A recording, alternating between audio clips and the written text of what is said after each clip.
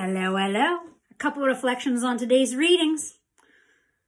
The Lord is my shepherd. There is nothing I lack.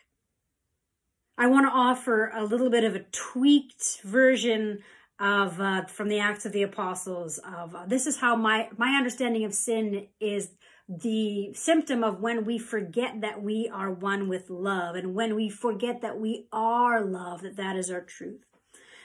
Um, and also that the word repent actually, when you break it down to um, the Greek uh, and the Hebrew means uh, metanoia, to, uh, to turn around, to change your mind, to go behind, beyond the mind that you have. And so I offer this. Change your mind, beloved, and allow Christ's love to wash away any voice that is telling you you are anything other than love, than beautiful.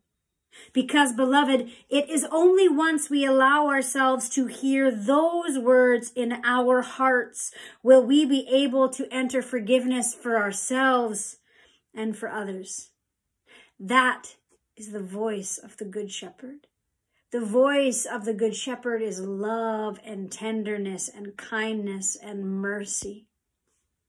It is Jesus' voice of complete inclusive love and mercy that liberates our hearts. As Maya Angelou says, love liberates and there is no one-way liberation. When you are liberated, you will invite and allow others to do the same. And the voice of our shepherd calls our, calls our names. And your name is beloved. When Mary Magdalene goes to the tomb while it's still dark to look for Jesus, and the she only recognizes Jesus, her shepherd, when he says he says her name. And the way he says her name can only be that of compassion and love and understanding. It sees beyond all of these other things that that that fill us and and and that beat us down. Jesus says, I love you. Any other voice of shame or hate, or you have to make 39 payments of 99.99999 for God to love you, um, those are the voices of the thief. And I think that that's a lot of what our scriptures talk about today too. The thief says, oh, just, you know, click on Amazon, boop, buy that and you'll be better. Or it says, just have a couple drinks, wash away that fear, you're fine. Um, those are the voices of of of the thief. This idea of a, a drive-through spirituality of quick fixes that don't actually exist.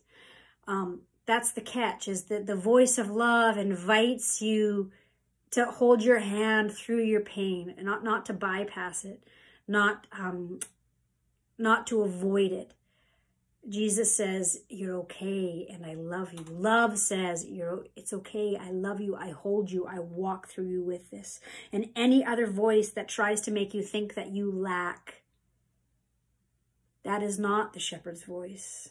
That is not the voice of love, the voice of forgiveness, and the voice of mercy. The Lord is my shepherd, and there is nothing that I lack. There is nothing you lack, beloved. You are love. You are loved. Allow that to be your guide towards healing, towards actually letting those tears fall, towards telling others that you love them, and very first telling you that you love yourself. May you hear your name being called beloved, always. Grace and peace, friends.